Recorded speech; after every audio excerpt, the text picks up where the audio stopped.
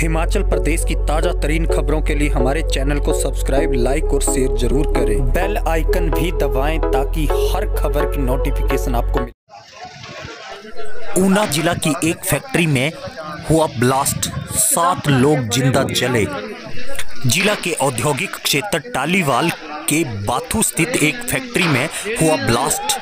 Blast के कारण सात लोग ज़िंदा जल गए। हिमाचल प्रदेश के जिला ऊना के औद्योगिक क्षेत्र बाथू स्थित एक पटाखा फैक्ट्री में ब्लास्ट होने से सात मजदूरों के जलने की खबर है, जबकि चौदह से ज़्यादा लोगों के झुलस जाने की खबर है। आग में झुलसे मजदूरों को क्षेत्रीय अस्पताल ऊना में लाया गया, वहाँ सूचना मिलते ही प्रशासनिक अधिकारी भी मौके पर पहुँचे। बाथू हादसे में एसडीएम हरौली करेंगे जाँच डीसी ने दिए आदेश।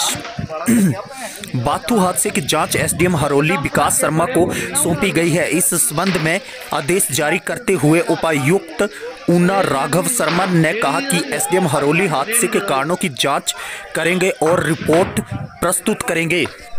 आपको बताते चले फैक्ट्री ब्लास्ट हो गई। पेश आया ये हादसा पटाखा फैक्ट्री में हुआ बाकी ब्लास्ट में सात महिलाएँ गई गई। चौदह से अधिक लोगों के झुलस जाने की खबर है। बाकी जख्मी हो गए भी सभी मजदूरों को क्षेत्रीय अस्पताल रेफर कर दिया गया है। घायलों की हालत गंभीर बताई जा रही है। हादसे में जान गंवाने वाले लोगों की अभी तक पहचान नहीं हो पाई है। परंतु आपको बताते चले कि मृतकों में सभी महिलाएँ शामिल हैं।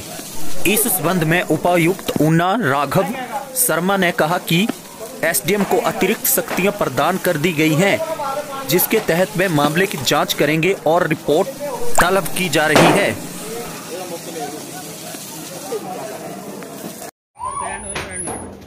आजो आजो।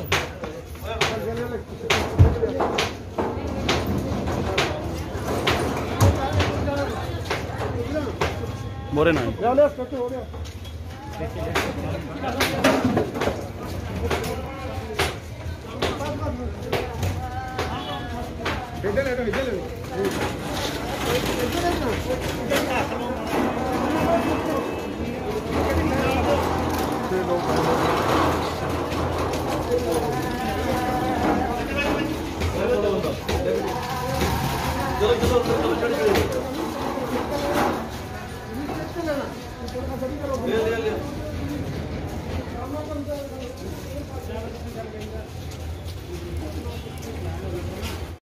हिमाचल प्रदेश की ताज़ा तरीन खबरों के लिए हमारे चैनल को सब्सक्राइब, लाइक और शेयर ज़रूर करें। बेल आइकन भी दबाएँ ताकि हर खबर की नोटिफिकेशन आपको मिले।